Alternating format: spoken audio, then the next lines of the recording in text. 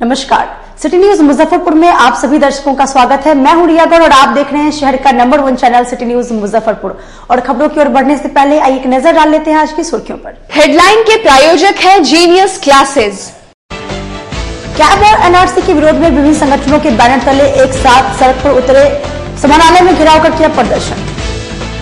मंगलवार की रात माधोपुर सुस्ता में सराफा व्यवसाय की की गई गोली मारकर हत्या के विरोध में ज़िले भर में बंद रही सराफा दुकानें। कैब और एनआरसी के विरोध में गुरुवार को आहूत बिहार बंद को सफल बनाने के लिए मुजफ्फरपुर पहुँचे पप्पू यादव? केंद्र और राज्य सरकार पर बरसे। और जलाई गई बीए की छात्रा की मौत को लेकर आक्रोशित विद्यार्थी परिषद के छात्रों ने एमएसकेवी में किया प्रदर्शन। और अब खबरें विस्तार से। कैब और एनआरसी के विरोध में विभिन्न संगठन के बैनर तले एकजुट हुए लोगों ने नगर में प्रदर्शन कर समानालय का घेराव किया? नागरिकता संशोधन कानून के विरोध में संविधान बचाओ तहरीक के बैनर तले जुलूस की शक्ल में बैंक रोड, धर्मशाला, मोतीझील, तिलक मैदान, टावर चौक, कंपनी बाग होते हुए समानालय परिसर में सैकड़ों प्रदर्शनकारियों ने धरना प्रदर्शन किया। प्रदर्शनकारियों की मुख्य मांग एनआरसी और सीएबी को केंद्र सरकार वापस ले। इसका ज्ञापन जिलाधिकारी आलोक रंजन घोष को सौंपने के बाद शांतिपूर्ण तरीके से निकला यह मार्च समाप्त हुआ। देखिए, आज हम लोगों ने मुजफ्फरपुर में शांतिपूर्ण मार्च हम लोगों ने जो निकाला है, उसका उद्देश्य ये है कि एनआरसी सी जो काला कानून पूरी तौर से जो है आरएसएस बीजेपी की सरकार, जो अमित शाह नरेंद्र मोदी की सरकार ने लागू किया है, इसके हम लोगों ने, इसके विरुद्ध है, क्योंकि ये काला कानून ऐसा है जो हिंदुस्तान में पहले से मुसलमान रह रहे हैं और सिख रह रहे हैं ईसाई रहे हैं सभी के लिए कानून जो है ये काला कानून है। सिर्फ़ एक जाति विशेष के लिए नहीं है सिर्फ़ मुसलमानों के लिए नहीं है। ये सारे लोग जो है शांतिपूर्ण प्रदर्शन कर रहे हैं क्योंकि रोज़गार देने की बात थी। रोज़गार की बात तो हो नहीं रही है सिर्फ़ बात हो रही है तो हिंदू मुस्लिम को लड़ाने की बात हो रही है। इसलिए काला कानून को वापस करने के लिए हम लोगों ने हज़ारों की संख्या में आज हम लोग कानून को हाथ में लेके नहीं, कानून के साथ चल के हम लोगों ने आज जो है शांतिपूर्ण मौन जुलूस निकाला है। काला बिल्ला लगा के, हाथ में तिरंगा लेके कि हम लोग देश के नागरिक थे, हैं और इंशाल्लाह हमेशा रहेंगे। उसके बाद से हम लोगों ने आलोक रंजन जी, जो हमारे माननीय यहाँ के डीएम महोदय हैं, उनके हम लोग समझ दिए हैं कि आप जो है हमारे मेमोरेंडम को आप डीएम साहब के अपने माध्यम से जो है केंद्र सरकार को भेजे और ये काला कानून वापस हो। संख्यक खुद भी है। और हम अल्पसंख्यक के मुखालिफ नहीं उनका है। डर तो आप हम लोगों से ज़्यादा बेहतर जानेंगे कि मगर ये ऐसा है कि आप उनको अगर तरजीह दे रहे हैं तो उस टाइप के मुसलमान भी हैं जो कहाँ पे मुसलमान है? यहाँ से हिंदुस्तान से जो मुसलमान गए आज़ादी के बाद। भारतीय मुसलमानों की बात क्या कैब में कहीं है? नहीं भारतीय मुसलमान तो का क्यों? नहीं है मगर पाकिस्तान में मुस्लिम अल्पसंख्यक है? बांग्लादेश में मुस्लिम अल्पसंख्यक है। क्या अफ़गानिस्तान में मुस्लिम अल्पसंख्यक है? अल्पसंख्यक नहीं है मगर सताए तो वो भी जा रहे हैं। तो उनको कौन सता रहा है? मुजाहिद- कहा जाता है। है? अल्पसंख्यकों की बात नहीं है। यहाँ कौन पे सता रहा है? है जो धार्मिक हिसाब से प्रताड़ित किया जा रहा है उनको ये गवर्नमेंट सिटीजनशिप देगी ठीक है? तो आप बताइए आप एक लोगों ने मिनट, दो लोगों बताइए, का बयान सुना। बलूचिस्तान की बात अभी नहीं है। अभी आपने दो लोगों की बात सुनी। की बात। क्या उन्होंने कहा कहते हैं बलूच- बलूचिस्तान में उनके साथ हक तलफी होती है ठीक है? तो एक तरफ़ वो ये बोल रहे हैं, जब वो गए थे सभा में, और दूसरे तरफ़ जब पार्लियामेंट में अमित शाह बोल रहे हैं कि मुसलमानों को लेना देना नहीं है, जो प्रताड़ित किया जा रहा है, उनके लिए एक्ट है। तो क्या बलूचि- बलूचिस्तान में प्रताड़ित नहीं किया जा रहा है? तो आप उनको फिर आप क्यों नहीं लाएँगे फिर कैब के कैब के तहत, है? और आप बोल रहे हैं कि गैर मुस्लिमों को सिर्फ़ मिलेगा सिटीजनशिप और हमारे मुस्लिम भाइयों को इसमें सिटीजनशिप नहीं मिलेगा। तो आप ये हक तलफी नहीं कर रहे हैं? आपका काम है as a prime as a prime minister और एज ए होम मिनिस्टर आप इक्वलिटी की बात कर रहे हैं कॉन्स्टिट्यूशन की बात करते हैं तो सबको इक्वल अधिकार है कि इस, इस डेमोक्रेटिक कंट्री में अपनी अपनी आवाज़ को रख सके और इक्वल प्रेस्टिज के साथ ज़िंदगी जी सके। और आप किसी को छाट के चल रहे हैं और एक जमात को छाट दिया तो आपकी मांग क्या है? मुख्य हमारी मांग ये है कि आप जो सी ए बी जो सी ए में कन्वर्ट हो गया है आप उस चीज़ को खत्म कीजिए और अगर करना है तो तमाम जमात को इसमें कंसिडर कीजिए। और नहीं तो जो आप एक मुसलमान को छाड़ दिए हैं तो आप सबको लीजिए और नहीं तो सबके लिए हटाइए। मंगलवार की रात अपराधियों ने सुस्ता माधोपुर के समीप दुकान बंद कर घर लौट रहे सराफा व्यवसायी राजकिशोर की गोली मारकर हत्या कर दी। मंगलवार की रात दुकान बंद कर घर जाने के क्रम में मनियारी थाना क्षेत्र के माधोपुर पंडित चौक के समीप लूट के दौरान आभूषण व्यवसायी राजकिशोर शाह की गोली मारकर हत्या कर दी गई। काजी मोहम्मदपुर थाना क्षेत्र के साधपुरा निवासी राजकिशोर शाह की माधोपुर हाट में आभूषण की दुकान है। व्यवसाय की हत्या की सूचना पर डीएसपी पश्चिमी कृष्ण मुरारी प्रसाद, ब्रह्मपुरा थाना अध्यक्ष विश्वनाथ राय अस्पताल पहुँचे और मृतक के परिजनों से पूछताछ की। पूछताछ के आधार पर अज्ञात अपराधियों के खिलाफ मामला दर्ज कर पुलिस जाँच में जुट गई है। घर है क्या? ये मनियारी थाना क्षेत्र के अंतर्गत पेठिया पेठिया चौक जो कि माधोपुर के अंतर्गत है वहाँ पर इनका वर्षा ज्वेलर्स का ज्वेलर्स का दुकान है। आ, उस दुकान को बंद करके आ रहे थे इनके पास बाप बेटा थे इनके बेटे का नाम राजू। साथ में ही आ रहे थे मोटरसाइकिल से ही आ रहे थे। इनके पास जो अभी तक जानकारी मिली है कि इनके पास सिर्फ़ चाबी था छोटा सा बैग में दुकान का चाबी और एक उनके बेटे के पास सात आठ सौ रुपया था। अपराधी ने आया और उन्होंने कहा कि हमको सामान दे दो। चाबी उन्होंने ले लिया है। चाबी का जो बैग था, छोटा सा, उन्होंने ले लिया है। और सात आठ सौ रुपया जो था, परसों उन्होंने पर्स दे दिया है। उसमें क्रेडिट कार्ड और आधार कार्ड भी होने के बाद बताई गई है इनके द्वारा। कुल मिलाकर यह लूट के दौरान घटना घट माना जा रहा है प्रथम दृष्टिया और चूँकि गोली इनको लगा है, बाह में दाहिना बाह में गोली लगी है। बाह में गोली लगने से इनको समय को अस्पताल नहीं ले जाया जा सका। उन्होंने बताया कि किसी ने सर इनको मदद नहीं कर पाई। पुलिस को सूचना मिली, पुलिस को पहुँची, लेकिन इन्हें कहीं अन्य जगह पहुँच गए थे किसी प्राइवेट अस्पताल में गए। फिर वहाँ उन्होंने किसी जगह चले गए, सदर अस्पताल की और अस्पताल फाइनली आने क्रम में इनको लेट हुआ लेट आने के के कारण से ही एस एस हुई है और प्रथम से पता पाया गया कि इसी कारण से मृत्यु होना पाया गया। फ़िलहाल, घटना हुई है, बड़ी घटना है। हम लोग जो वहाँ के जो अपराधी है हो सकते हैं। जिसने भी घटना में सम्मिलित है हम सब वरीय वगैरह से पता कर लिया है। और भी इनकी मदद लेंगे क्योंकि उनके भाई उनके बेटे रहे के साथ में। कुछ और मदद मिल सकती है हम सब प्रयास करेंगे। प्रयास करने के बाद जो कार्रवाई हो सकती है। लूट की राशि कुछ क्लियर हो पाई है? उन्होंने बताया ही कि कुल राशि इनके पास सात आठ सौ रुपया था। ज्वेलर्स वगैरह भी और ज्वेलर्स कुछ भी नहीं था। इन्होंने सामने ही बताया सारा कुछ। चाबी था। दुकान का चाबी था और सात आठ सौ रुपया था। यही। कितने अपराधी थे सर और किस चीज़ से?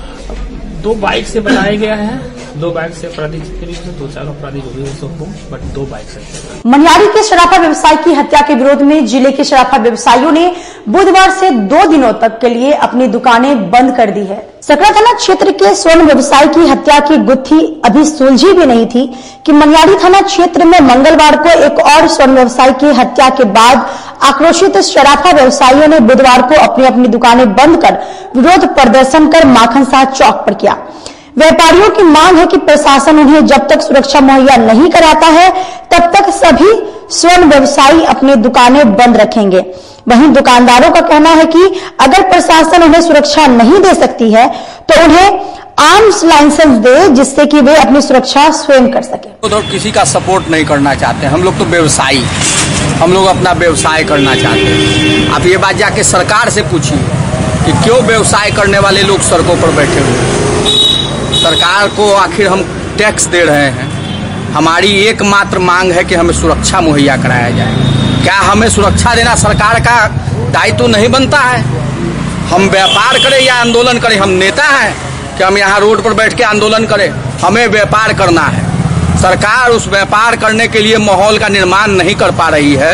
ये सरकार की नाकामी है। आज हम लोग यहाँ पर बैठ के जिंदाबाद और मुर्दाबाद करने के लिए हम लोग यहाँ नहीं आते हैं मंडी में। हम लोग आते हैं, यहाँ दो रुपया कमाए, अपना खर्चा चलाए, अपने परिवार का खर्चा चलाए। हमारे यहाँ जो लोग हमसे जुड़े हुए हैं, उनका परिवार चले।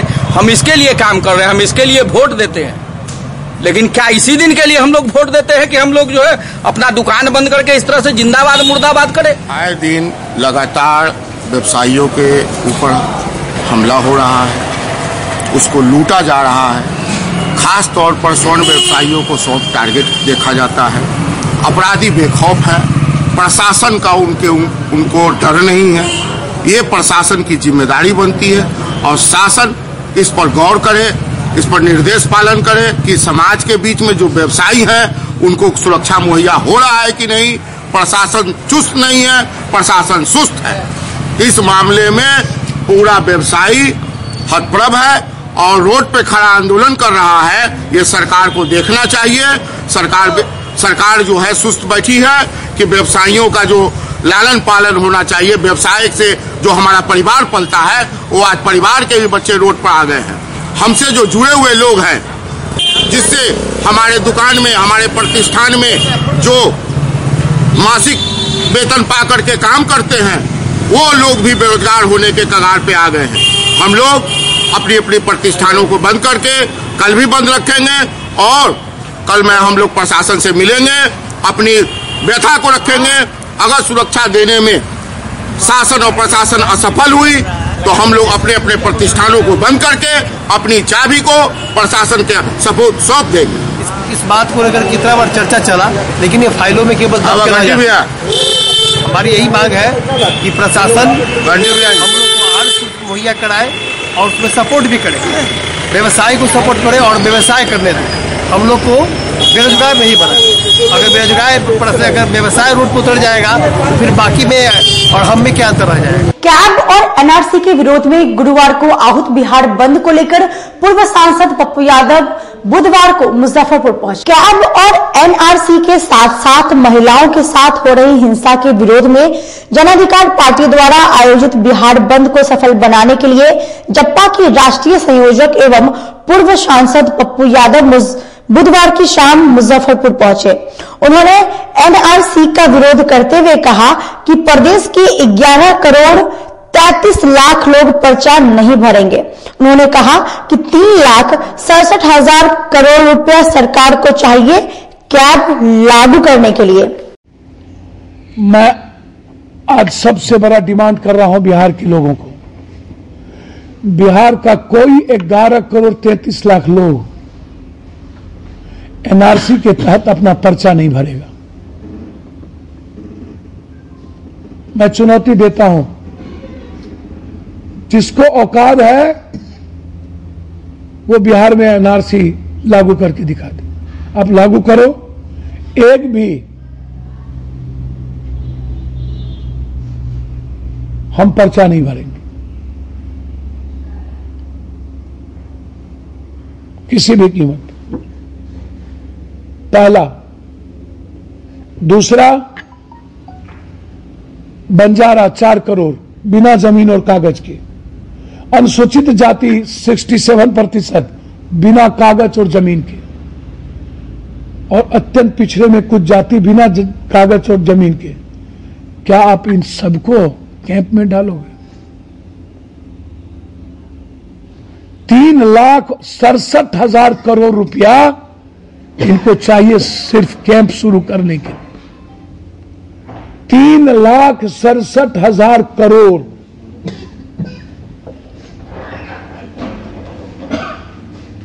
आलू साठ रुपया टमाटर दो सौ रुपया दूध तीन रुपया बढ़ गया दाल सबसे महँगा। इन महंगाइयों को को खत्म दिग्भ्रमित करने के लिए बस बस। और जीडीपी को क्या चर्चा ना हो इकोनॉमी पे? और जब महाराष्ट्र सरकार इसके हाथ से चली गई तो नफरत फैला करके झारखंड चुनाव जीतने के लिए इन, इन्होंने पूरे देश को जला दिया। पूरा नॉर्थ ईस्ट पूरा नॉर्थ ईस्ट चाइना के गोद में बैठ गए। जो चाइना चाहती थी वो अमित शाह ने कर दिया। जो पाकिस्तान चाहता है कश्मीर में, हम वो अमित शाह जी ने कर दिया। जालियावाला बाग से भी बदतर स्थिति थी, जामिया और एएमयू में। जालियावाला बाग, जनरल डायर, और यहाँ का अमित शाह जी जनरल डायर। क्या फ़र्क? संविधान बड़ा कि पार्टी बड़ा? यह जानना चाहता है देश, संविधान बड़ा कि सत्ता बड़ा? संविधान बड़ा कि कुर्सी बड़ा? संविधान बड़ा कि वोट बड़ा? उधर अय्यापुर में जलाई गई बीए की छात्रा के मामले में पप्पू यादव ने कहा कि उनका आने का मतलब किसी को बचाना नहीं था, बल्कि बेटी को इंसाफ दिलाने की भावना से ये यहाँ पहुँचे थे। मुझे नहीं पता था ये बच्ची किस जाति और समाज के लोग हैं। मैं भगवान और बच्चे की सौगंध खा के कहता हूँ। मुझे नहीं पता था कि राजगीर में जो बच्ची है किस जा- जब मैं जाता हूँ तो अपनी बेटी की दृष्टि से जाता हूँ। मेरे सामने मेरी बेटी होती है। जो लोग गंदे हरकत करते हैं ना, वह लड़ाई को कमज़ोर करता है। वह बेटियों के सम्मान को कमज़ोर करता है। मैं एसपीडी ट्रायल के लिए कोर्ट जाऊँगा कि आप इस पूरे बिहार के बच्ची का एसपीडी ट्रायल हो। कल इसीलिए पूरा बिहार बंद हमने किया और वामपंथी पार्टी सभी साथियों ने सपोर्ट किया। हम लोग एक हैं, बच्चियों के सवाल पर और देश की एकता और संविधान बचाने के सवाल पर यहाँ पुलिस पर कोई कार्रवाई नहीं हुई इस मामले में। सर कब कार्रवाई हुई? अहियापुर थाना तीन तीन घटना सर कब कार्रवाई हुई? कोई घटना नहीं। इसके पहले हाय तोबा क्यों नहीं मची थी? पप्पू यादव के जाने के बाद ही क्यों? कब कार्रवाई हुई? और हम मेरा सवाल है नीतीश जी आपसे क्या आपका सुशासन यदि आप दिनेश सिंह का होटल आप बंद नहीं कर सकते हैं और दिनेश सिंह और एमपी पर कार्रवाई नहीं करने की हिम्मत है तो फिर आज के बाद सुशासन की चर्चा करना आप बंद कर दीजिए। आप कंप्लीट रूप से इस्तेमाल करते हैं अपने सत्ता के लिए और पीक एंड चूज़ करके आप फेस बचाते हैं। कल एक स्वर्ण व्यवसायी की भी हत्या हो गई। कल स्वर्ण व्यवसायी की हत्या लफुओं ने की उसके लिए रोड जाम क्यों नहीं हुआ? आज हमारे एजेंडे में हमारे पार्टी के लोगों का पीस है, कैंडल मार्च है, इसी बच्चियों के सवाल पर, स्वर्ण व्यवसायियों के सवाल पर, कब मुजफ्फरपुर मुक्त होगा अपराधियों से? कब मुजफ्फरपुर मुक्त होगा बलात्कारियों से? क्योंकि नरोना बलात्कार केस को पप्पू यादव अब सीधा देखेगा। मैंने चुनौती में लिया है सेल्टर हाउस जो चुनौती में लिया था तो अब नरोना बलात्कार केस को भी पप्पू यादव चुनौती में लिया। हम ज़िंदा जब तक रहेंगे, तब तक नरोना उस बच्ची की, को इंसाफ के लिए हम लड़ेंगे, और मुझे पता है, मैं मुझसे सीबीआई पूछी ही नहीं। मुझे पता है कि किसके किसके घर में उस बच्ची को परोसा गया। पप्पू यादव ने ज़िले में बढ़ते अपराध के मुद्दे पर नीतीश कुमार पर भी जमकर निशाना साधा। नीतीश कुमार जी से मेरा सबसे पहले है कि आप पौर्न की चिट्ठी किसको लिख रहे हैं? जब सरकार में दोनों जगह आप हैं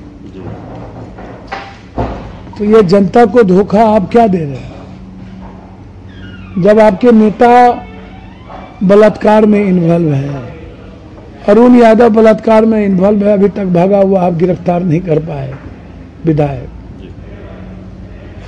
आपके यहाँ शेल्टर हाउस में लगभग लोग जो जो इन्वॉल्व है, उसको आप अभी तक सही इंक्वायरी नहीं कर पाए।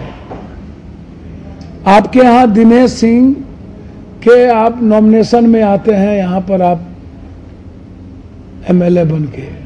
लेकिन जब बेटी जल जाती है और बेटी का बलात्कार होता है, उसके पहले एक बच्ची को छोटी मासूम बच्ची को मार दिया। फिर उसी एक दिन के बाद बच्चियों का बलात् को जला दिया। फिर अभी गैंग रेप हुआ। तो जब एमएलसी के नॉमिनेशन में आप आते हैं और बच्चियों को जलाने में और बलात्कार के बाद जाने में आपके पेट में दर्द क्यों होता है? सुशासन के बारे में हमारी एक बात समझ है नीतीश बाबू जी कि एमएलसी के घर में दारू का बोतल रखा हुआ था तब सील हो गया था और आपने जेल भे, भेज दिया था। मुजफ्फरपुर में एक एमपी और एक एमएलसी के होटल में दारू पकड़ाया और उसके बाद दारू के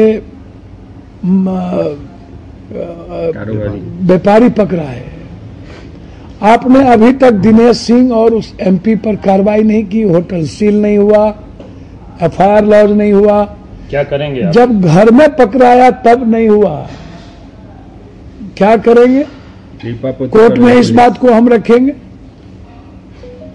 और पुलिस पूरी की पूरी बचाने में लगी हुई हो पाँच लाख रुपया बचाया। तो इस मामले को हम शराब का जो बहस चल रहा है उसमें इस मामले को भी मैं लाऊँगा। इस मामले में सर कुछ पत्रकार लोगों ने एसपी से बात करना चाहा तो एसपी ने सीधे उन लोगों को बदसलूकी की। मैं, मैं, पत्रकारों मैं, मैं वही कह रहा हूँ कि प्रशासन शासन पूरी तरीके से दिनेश सिंह को बचाने में लगा हुआ है। मैं चार बात आपको कह, कह रहा हूँ। पहला कि जब बच्ची जली थी तो पहला आदमी था कि रात के दो बज के चालीस मिनट पर हम उसे हॉस्पिटल में मिलने गए। और सुबह साढ़े सात, आठ बजे हम स्वास्थ्य मंत्री से मिले और मिल करके स्वास्थ्य मंत्री से मैं अपने सामने मेडिकल सुपरिटेंडेंट से फ़ोन कराकर उसकी दवाई और सब कुछ फ्री करवाया। स्वास्थ्य मंत्री गवाह है और फ़ोटो गवाह है। दूसरा अपेलो गए अपेलो के मालिक को मैंने कहा कि एक रुपया बच्ची को नहीं लगना चाहिए, आप नहीं लेंगे। अपेलो के मालिक ने हमको साफ़ शब्दों में कहा कि एक भी रुपया हम बच्चियों को बचाने में नहीं लेंगे। जब तक पप्पू यादव नहीं गए थे तब तक डीएम और एसपी यहाँ पर कोई कंसस नहीं था। और पप्पू यादव के आने के बाद उनको लगा कि नहीं पप्पू यादव आ गए तब एक दिन के बाद यहाँ से वो जाते हैं पटना भेजते हैं।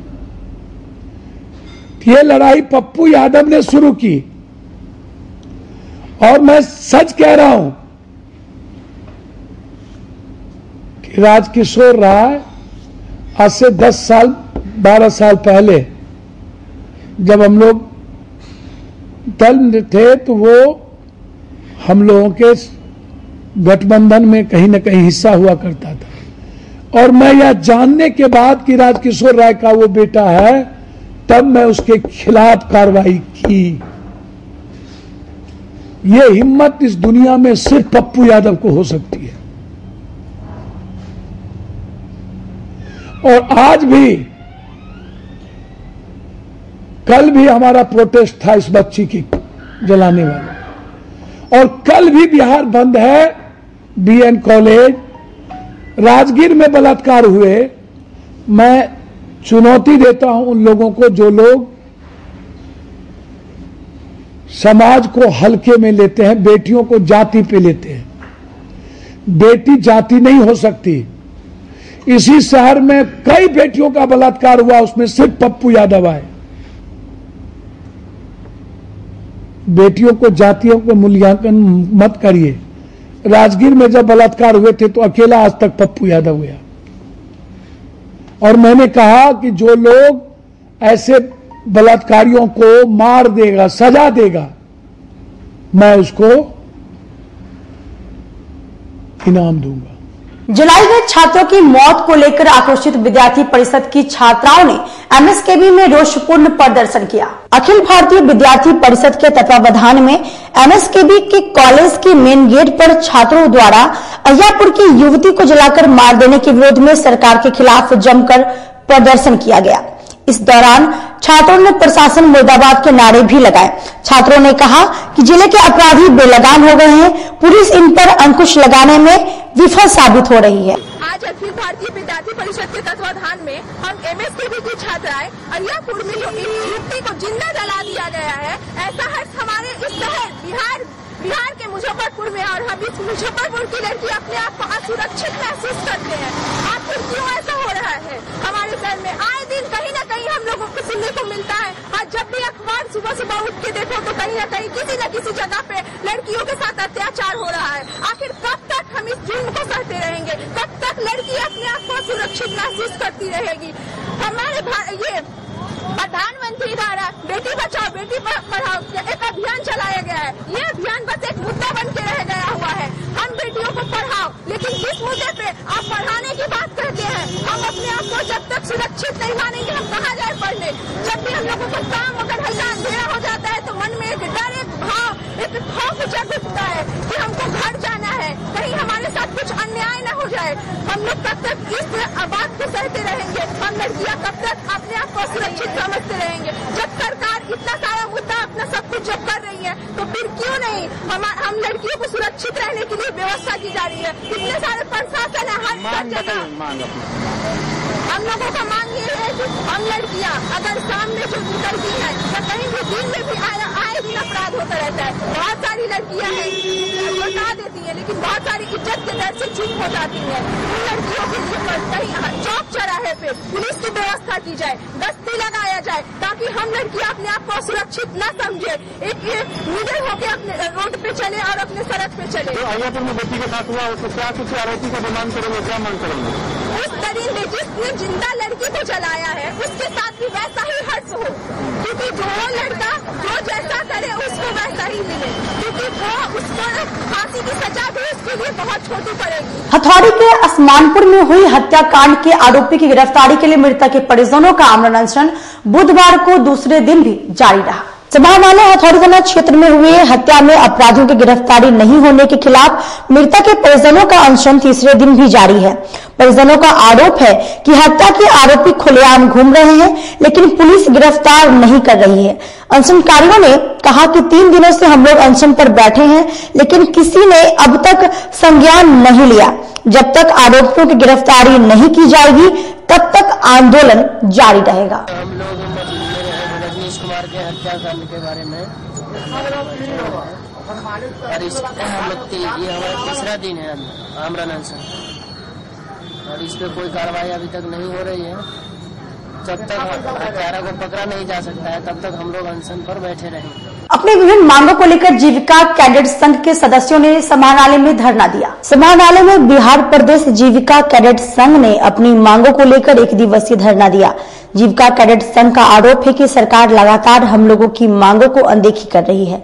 जीविका कैडेट संघ ने मुख्य रूप से सभी कैडेटों को जीविका की ओर से नियुक्ति पत्र, पहचान पत्र और निर्धारित ड्रेस मिलने, मानदेय कंट्रीब्यूशन सिस्टम पर अविलंब रोक लगाने तथा मानदेय का भुगतान नियमित और बैंक खाते में होने की मांग की। मांगे नहीं माने जाने पर आंदोलन को तेज करने की चेतावनी इन्होंने दी है। आ, हमारी दस सूत्री मांगों को लेकर बिहार प्रदेश जीविका कैडर की ओर संघ की ओर से एक दिवसीय धरना कार्यक्रम आयोजित किया गया था। जैसे जीविका में जीविका बिहार सरकार की सबसे बड़ी महत्वाकांक्षी परियोजना है और इसमें जो काम करने वाले लोग हैं आज 1200 से 1500 पर काम करने को मजबूर है। सरकार की यह दोहरी नीति है कि एक तरफ़ कहती है कि गरीबी निर्मूलन करने के, करने का हम लोग प्रयास कर रहे हैं और उसी गरीबों से 1200 1500 रुपए पर काम करवाती है।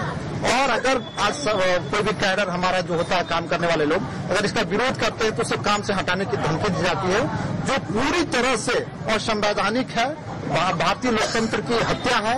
लोकतांत्रिक व्यवस्था में सबको अपनी मांग को रखने का अधिकार है और इसी के तहत हम लोग अपनी मांगों को सरकार तक पहुँचाने का प्रयास कर रहे हैं ताकि हमारी मांगे सरकार पूरी करे। अगर हमारी मांगे सरकार पूरी नहीं करती है तो इस बार पूरे बिहार में जीविका मानव श्रृंखला का बहिष्कार करेगी। वक्त हो चला एक छोटे से ब्रेक का। लेते हैं एक छोटा सा ब्रेक तब तक आप बने रहिए हमारे साथ। देखते रहिए city news Muzaffarpur.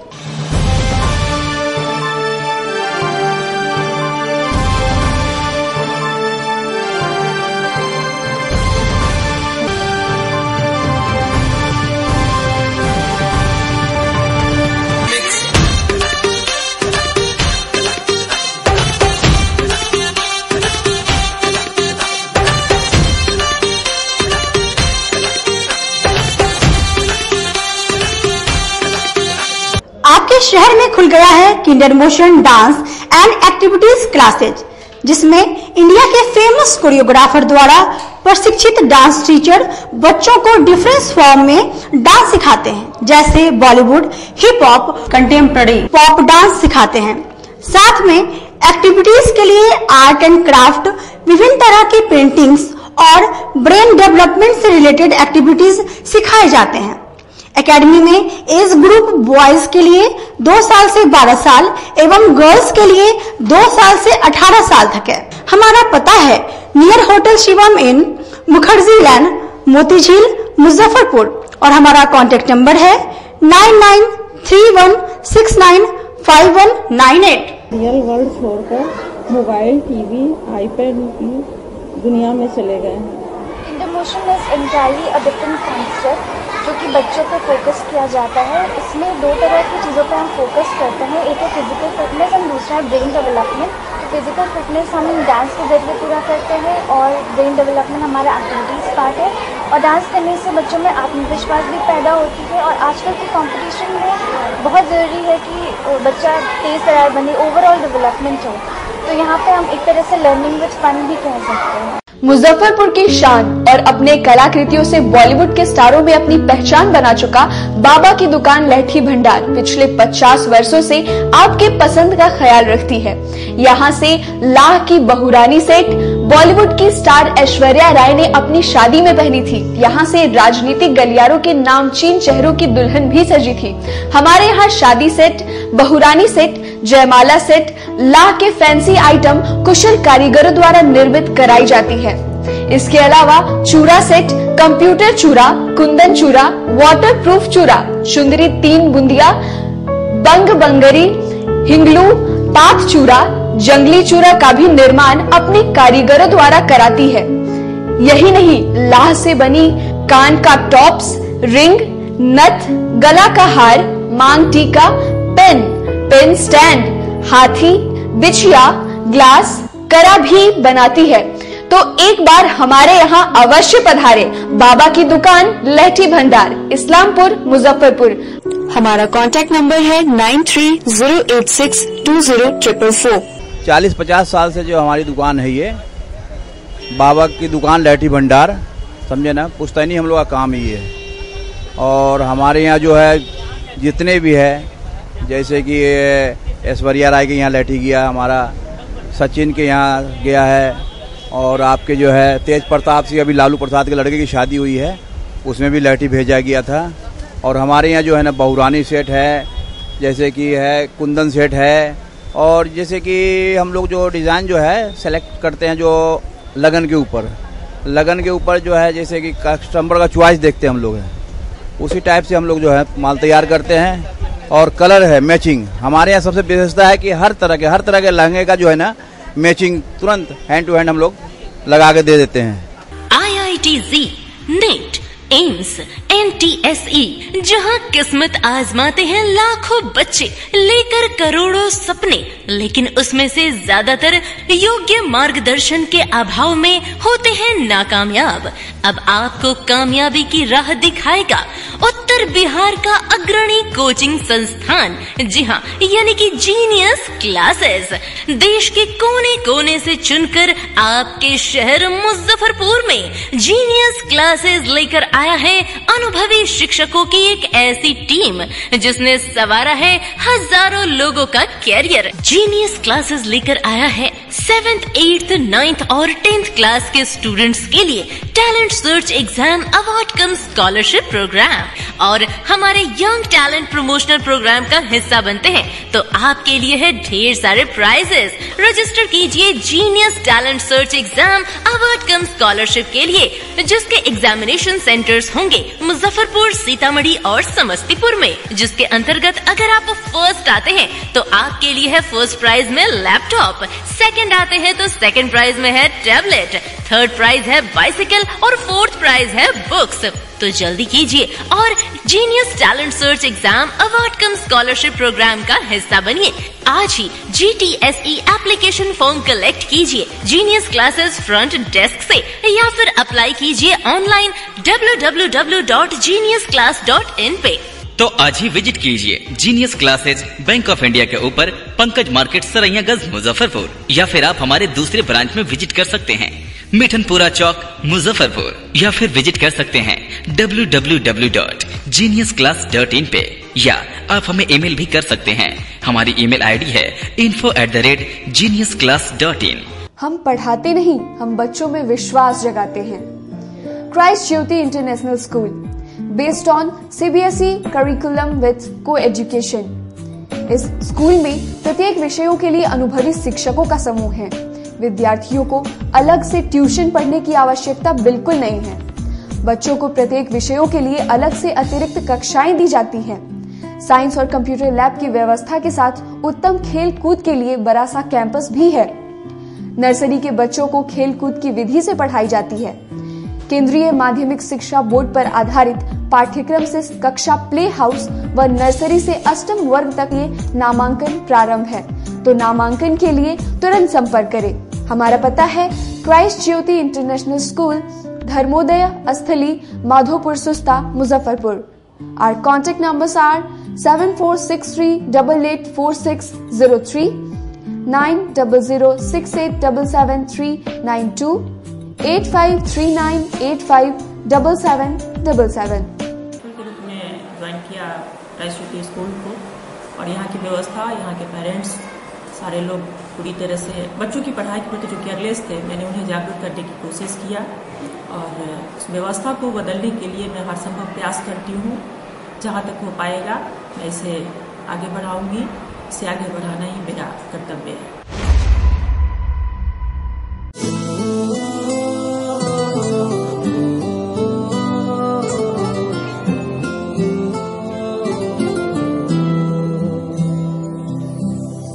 छुड़ा के दामन मेरा, कहाँ तो चली गई? तू ना मिली मुझे, याद तेरी रह गई।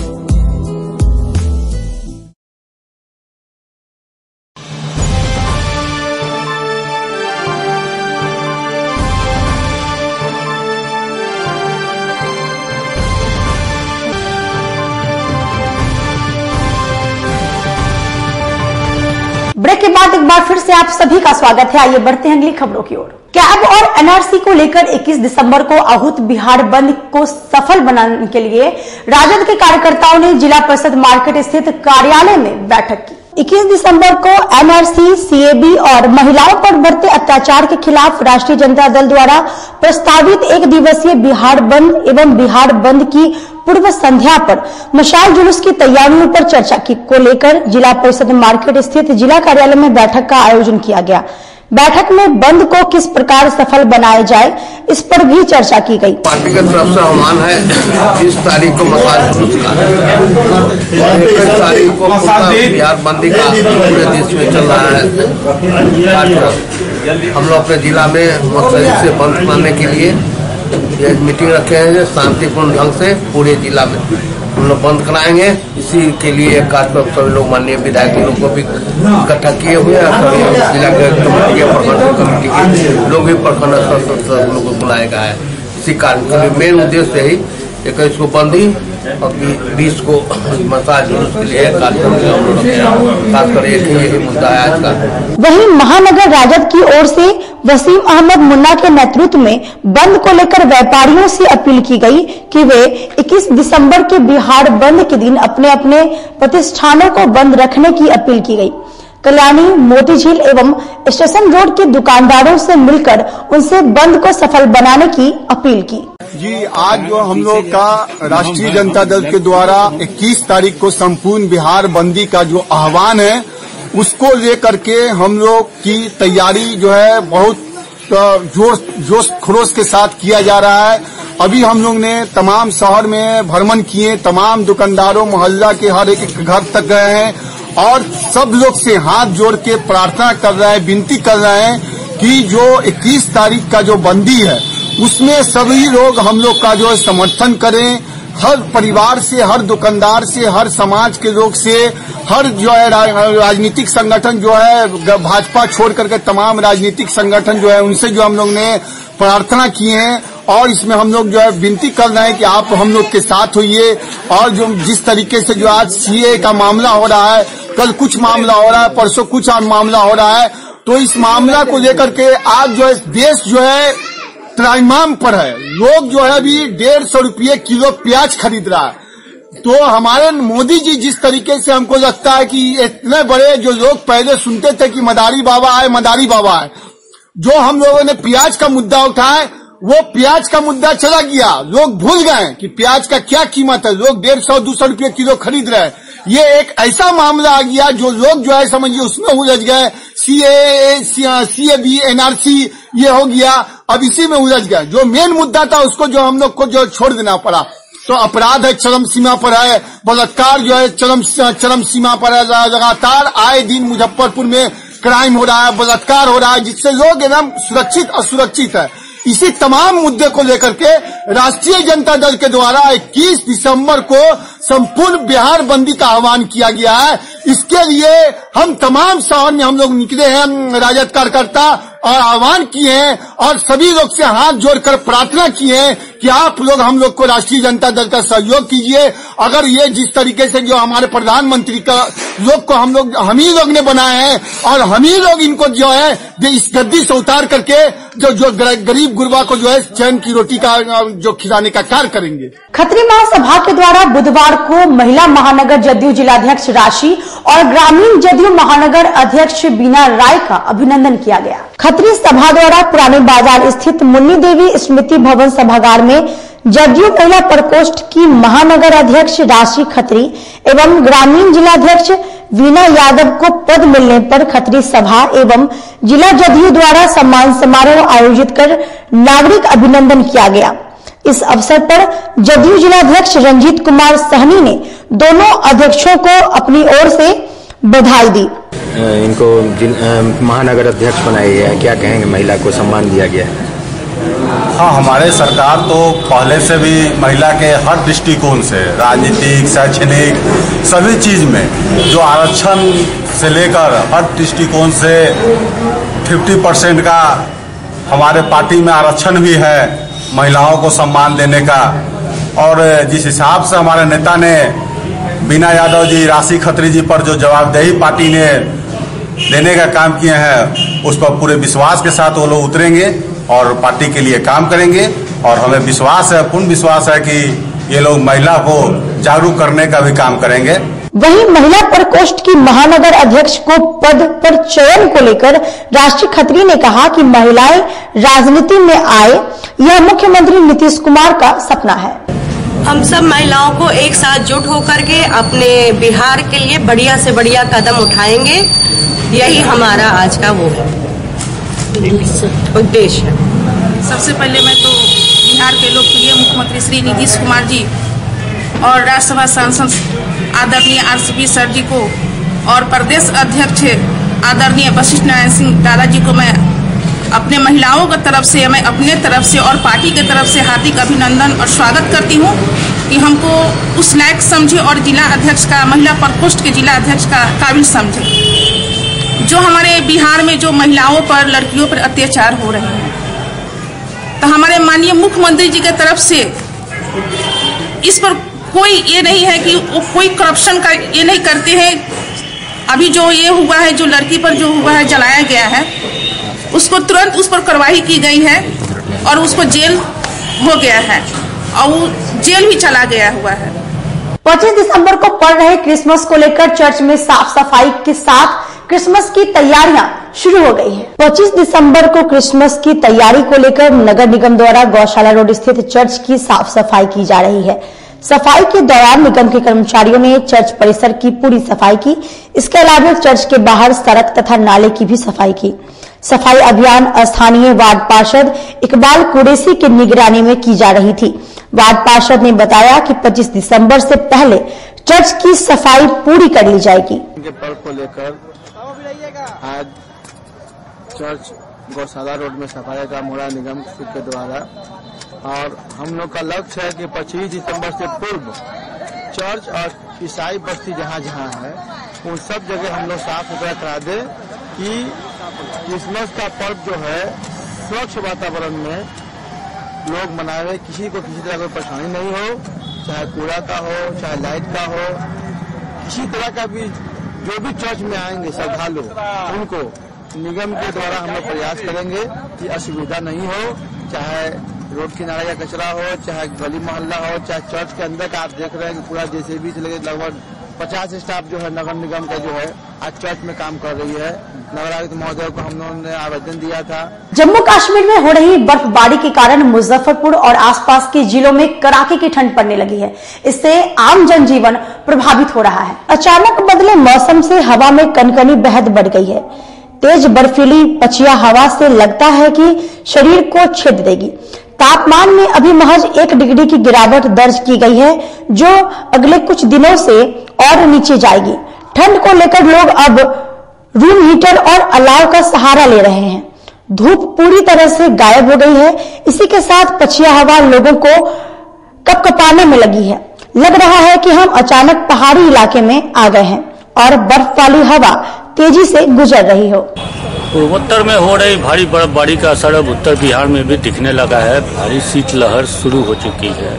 टेम्परेचर में पाँच डिग्री से ज़्यादा की कमी देखने को मिली है। जो मौसम विभाग के अनुसार आगे और भी रहेगी। देखिए, दो दिन पहले तक जहाँ धूप खिली हुई थी, अब पूरी तरीके से शीतलहर का प्रकोप शुरू हो चुका है। लोग अपने स्वेटर और मफलर निकाल चुके हैं। पूरी तरीके से ठंड अब चरम पे है। ये शीतलहर आगे और जारी रहेगी। तापमान में भारी गिरावट देखने को मिलेगी। न्यूज़ की टीम आपसे अपील करती है कि मौसम में छोटे बच्चे और बुज़ुर्गों को बचा के रखें। अपने सहयोगी विकास के साथ मैं Sandeep Kumar, city news, Muzaffarpur. Vaishali institute of rural management college में बुधवार को फाइनल ईयर के छात्रों ने समारोह आयोजित कर विदाई दी और वहीं नए सत्र के छात्रों का स्वागत किया गया। बुधवार को मिठनपुरा चौक स्थित Vaishali institute of business and rural management college में फ्रेशर ऑफ़ फेयरवेल का आयोजन किया गया। इस आयोजन को संगम 3.0 का नाम दिया गया। कार्यक्रम की शुरुआत में पूर्ववर्ती छात्र छात्राओं के द्वारा कई रंगारंग कार्यक्रमों का भी आयोजन किया गया। वहीं फ्रेशर छात्र छात्राओं के द्वारा नृत्य और संगीत के कार्यक्रम ने दर्शकों को मंत्रमुग्ध कर दिया। इन कार्यक्रमों में बीबीए बीसीए और एमबीए के प्रथम सेमेस्टर में नामांकित छात्रों के फ्रेशर पार्टी एवं फाइनल ईयर के छात्रों के लिए फेयरवेल पार्टी कार्यक्रम संस्था के प्रोफेसर डॉक्टर मोनालिसा तथा छात्र उत्पल नंदा के निर्देशन में किया गया।